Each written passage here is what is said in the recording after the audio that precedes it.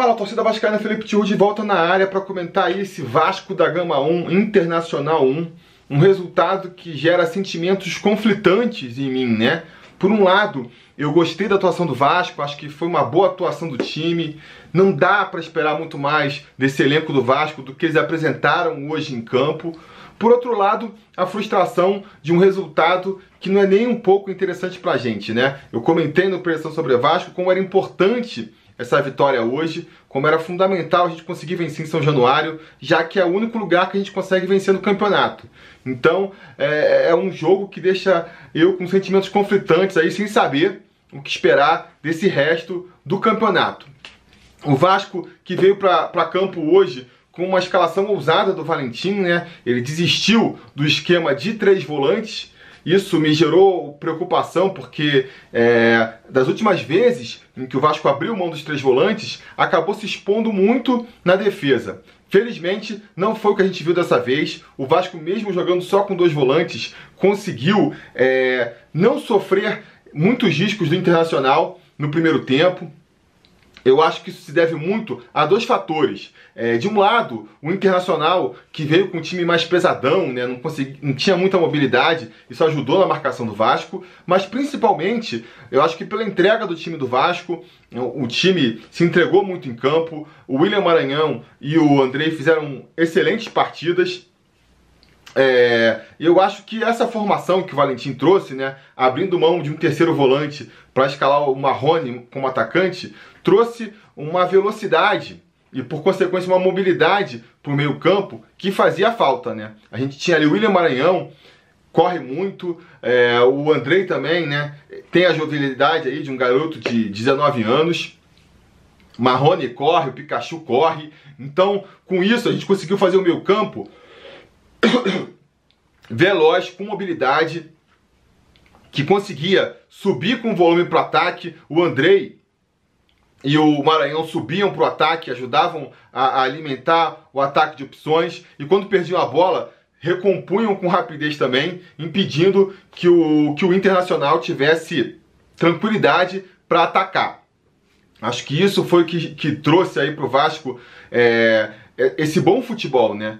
No ataque, a gente conseguiu, justamente, já que não tem a qualidade dos jogadores, pelo menos o volume, né? Põe bastante jogador na frente, que isso aí vai ajudando a abrir os espaços. O Pikachu caindo bem por um lado, o Marrone caindo bem pelo outro, abrindo, espaçando a defesa do Inter. Isso ajudou o Vasco mesmo, é, repito, sem aquela qualidade técnica para criar chances, fazer a bola ficar rondando é, a área do Internacional e aí torcer para numa sorte, né, conseguir achar um gol, que infelizmente não aconteceu no primeiro tempo. E defensivamente, com muita entrega, o time perdendo a bola voltando todo para marcar, ajudou a, a, a, segurar ali o ímpeto do Inter, que nem criou, não ofereceu riscos para o Vasco é, no primeiro tempo, certo? Aí a, o que acabou destoando nesse meio campo aí, que a gente está conversando, foi justamente o Fabrício, né? É, o jogador que, que seria ponto fundamental nesse esquema, por ser o articulador da jogada, das jogadas de ataque, né? Você tem um ataque com três atacantes, praticamente. Pikachu cai aberto pela direita, Marrone aberto pela esquerda, o Max centralizado. Dois volantes para fechar a marcação, né? Por mais que o Andrei consiga sair mais para o ataque, por mais que o Maranhão suba também para o ataque, o Maranhão a gente sabe que não tem qualidade com a bola no pé, né? A função dele é mais ficar destruindo mesmo as jogadas adversárias. O Andrei é, tem uma qualidade, acho que fez uma partida muito boa hoje, para sair para o jogo, ele conseguia muito, principalmente no lado direito, né? Ele vira ali, rouba a bola, já consegue lançar, acionou muitas vezes o Pikachu pela direita. Foi uma saída de jogo interessante, mas não dá para ser o articulador do time. Quem tinha que ser esse articulador era justamente o Fabrício, e aí peca demais nisso, né? É, não acho que ele seja horroroso, como muito da torcida acham. Eu acho que ele é burocrático, ele não consegue. Ele pega a bola no meu campo ali, toca de lado, é, se tenta uma jogada um pouquinho mais criativa, normalmente erra a jogada. É muito lento, então não, serve para acelerar as jogadas. E aí, eventualmente, vai fazer um lance aqui, outro lá, né? A gente vai lembrar o último lance do primeiro tempo. Ele consegue puxar um contra-ataque ali, faz um lindo drible, um lindo drible no zagueiro colorado. Mas aí, logo em seguida, a gente vê o problema dele, né? Um contra-ataque ali que ele tinha tudo para sair na cara do goleiro, não tem velocidade. É, conseguiu perder na velocidade para o zagueiro do Inter, zagueiro que já é uma, uma posição cara lento, né? O cara quase um trator, conseguiu ser mais veloz do que o, do que o Fabrício, fez uma falta ali que depois o Pikachu desperdiçou. É... No segundo tempo, o Vasco voltou com o mesmo ímpeto, logo aos 15 minutos trocou o Fabrício pelo Thiago Galhardo, que era a única opção de meio campo que tinha ali. O Fabrício já estava cansando também, e aí prejudicando ainda mais a equipe. Eu acho que o Thiago Galhardo entrou bem, não é nenhuma sumidade, não é nenhum talento inquestionável, sabe? Eu, sinceramente, nem condeno o, o, o Valentim por não ter optado pelo, pelo Thiago Galhardo no primeiro momento, mas, cara, eu acho que diante da, das oportunidades agora, diante do que vem jogando o Fabrício, diante do que vem jogando o Giovanni Augusto, e diante do que jogou o, o Thiago Galhardo depois que ele entrou na equipe hoje, eu acho que o Thiago Galhardo tem que ser titular dessa equipe, sabe? Não é um cara que vai mudar completamente a cara do Vasco, mas vai trazer um pouco mais de velocidade para esse time. Eu acho que pode trazer um pouco mais de criatividade, acelerar um pouco mais a saída de bola. Então espero que o Valentim aposte nele na, nas próximas rodadas, né? É, a entrada do Thiago Galhardo acelerou o jogo do Vasco. Ao mesmo tempo, o Internacional fez mudanças no time dele, que acelerou o jogo do Inter também. Então, a partida ali ficou completamente aberta. O Inter atacando muito, o Vasco atacando muito, né? Chances sendo criadas da, da, dos dois lados. Nesse período que a gente vai ver, talvez a principal chance do Vasco, um lindo é, lançamento do, do Andrei para o Pikachu pegar de primeira e o goleirão dos caras agarrar. E o jogo ficou assim até chegar ali, né? chegando perto dos 30 do segundo tempo, é, o problema aí, que é do Vasco de todo o campeonato, e acho que até dizer que de outras temporadas voltou a aparecer, o péssimo condicionamento físico da equipe começou a cobrar seu preço, os jogadores começaram a ficar cansados, os jogadores começaram a ficar com cãibra, então o Marrone, tem 19 anos, sentiu cãibra, teve que sair, entrou o Kelvin, depois o Maranhão também sentiu lá um problema na coxa, entrou o Raul, e isso já tinha, o Fabrício já tinha saído por cansaço, o Ramon já estava botando a língua para fora, o Luiz Gustavo já estava botando a língua para fora. O time começou a cansar e começou a dar espaço para o Internacional, que é, veio crescendo na partida, veio. O Internacional que até então não tinha criado praticamente nenhuma chance de gol, começou a, a, rondar perigosamente a área do Vasco, até que aos 40 do segundo tempo, é, num lance pela esquerda ali, à direita do Vasco, né? Em cima do Luiz Gustavo, que já estava pregado, volto a dizer. É, eles conseguiram chutar na bola, o, o, o Martin Silva espalmou para o meio da área de novo, um lance ali que poderia ter feito uma defesa melhor, né? E os caras abriram um gol parecia um grande castigo por tudo que o Vasco vinha jogando.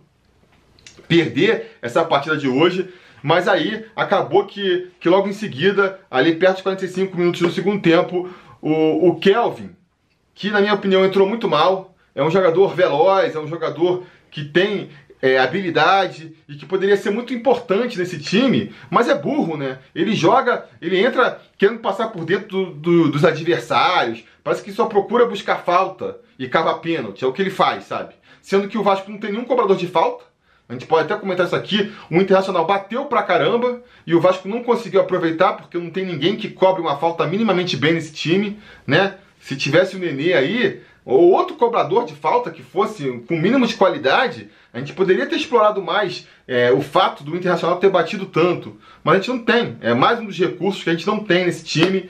Então não adianta nada ficar faz... cavando falta, que o Kelvin cava. E pênalti também, muito dificilmente os adversários vão embarcar, os juízes vão embarcar nesses pênaltis cavados do Kelvin. Graças a Deus, o juiz hoje embarcou, marcou um pênalti que gerou muita discussão do Internacional. Eu acho que é do jogo, sabe? Não dá para reclamar, nem acho que foi roubado. Eu acho que os juízes são ruins.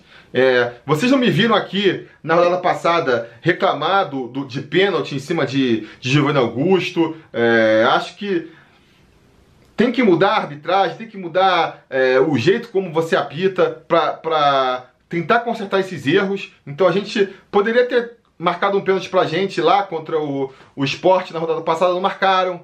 Teve um pênalti claro pro, pro Vasco na primeira, no primeiro tempo, lá, um, uma cotovelada na cara do Castan, que o juiz também, na frente do juiz, o juiz não marcou, entendeu? Um gol ali do Vasco poderia mudar completamente o panorama da partida. A gente, quando o time começasse a cansar, o Valentim poderia ter fechado, feito uma formação um pouquinho mais fechadinha para segurar a vitória. Então, é, no final teve um pênalti que eu acho que não foi, mas para mim faz parte, né? O Internacional quer chorar, tudo bem, tá no direito deles.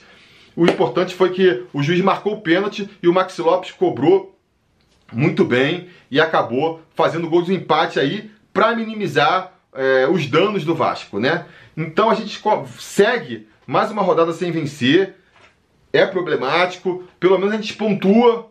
Um ponto é ruim dentro de casa? É, mas é melhor do que uma vitória, é melhor do que uma derrota.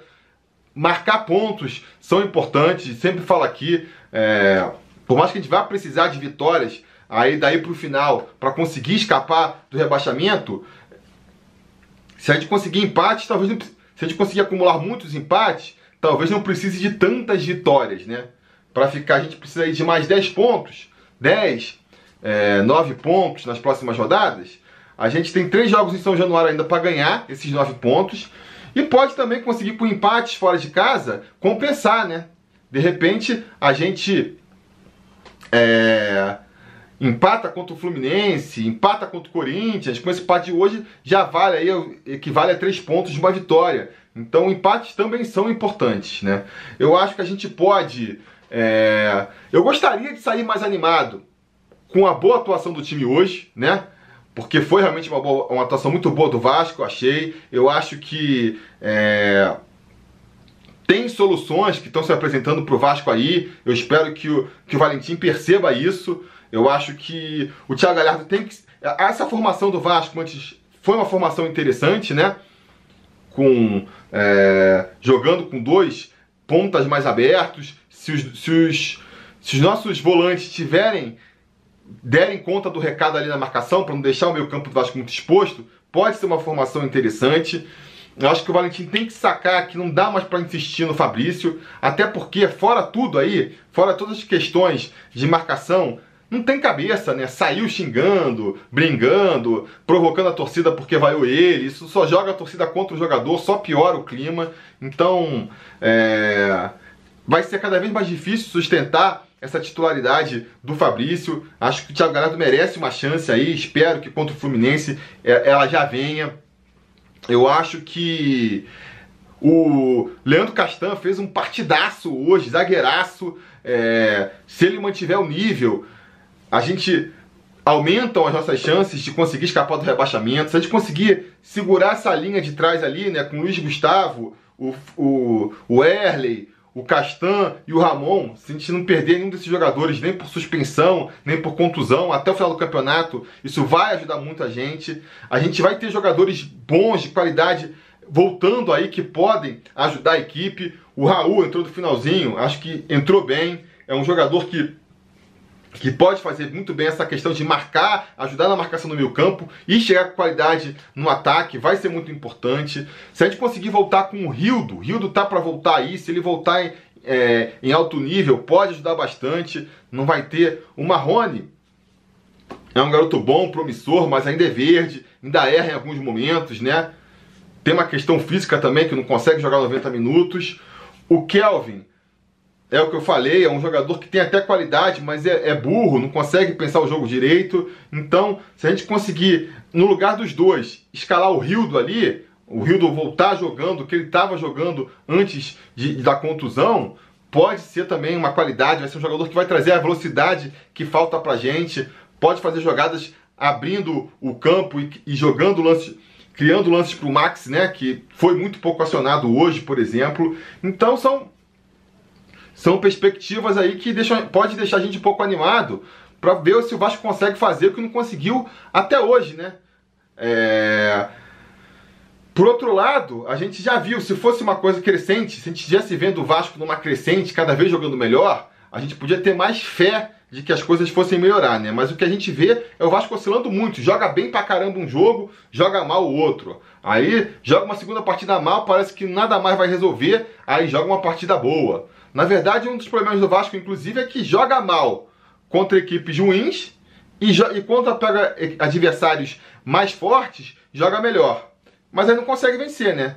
Se a gente pudesse trocar, se a gente tivesse jogado o que jogou contra o esporte hoje contra o Inter, a gente tinha perdido de 4 a 0. Mas em compensação, se a gente tivesse, tivesse jogado contra o esporte, o que a gente jogou hoje contra o Inter, tinha ganhado o esporte. E aí, em vez de sair com um ponto em dois jogos, tinha saído com três pontos em dois jogos, teria sido melhor. Enfim, é torcer. A gente, a cada rodada, fica torcendo para ficar falando que agora tem que ser, agora tem que ser, nunca é, e a gente fica jogando para a próxima rodada, né? É, é, o que resta a gente. E enquanto o Vasco tiver chance aí, eu vou ficar acreditando que tem que ser agora, tem que ser agora, tem que ser agora.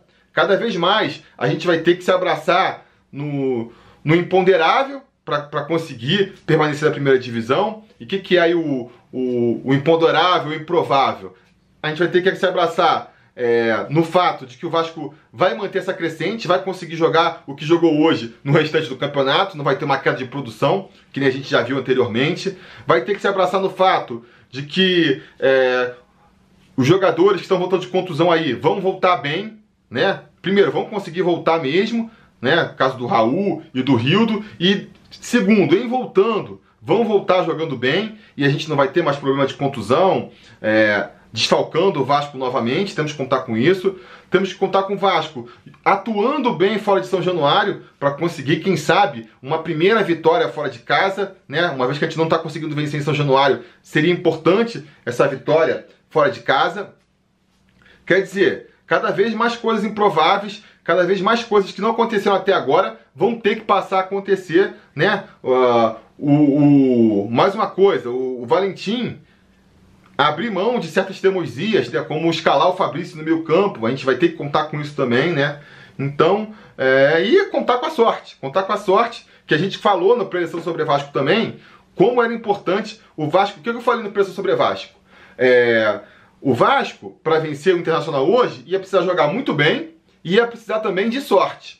Eu acho que o Vasco jogou bem, mas faltou aquele ingrediente de sorte, né? E aí não vou nem falando do, do gol do Pikachu entrar, a sorte do juiz marcar o pênalti no Castan que não marcou. Tô falando daquela sorte braba mesmo, sorte cagada. E aí eu vou falar só dois lances aqui que poderiam ter mudado o rumo da partida. Um lance no primeiro tempo, quando o, o William Maranhão roubou uma bola na, na intermediária ali, a bola esticou, passou um pouco dele e aí ele estou pro gol mais para não entregar a bola para o adversário do que tentando fazer o gol mesmo. E a bola pegou um efeito estranho que quando na frente do goleiro, quase que o Lomba aceita, ele esticou o braço ali, quase que ele aceita aquele gol.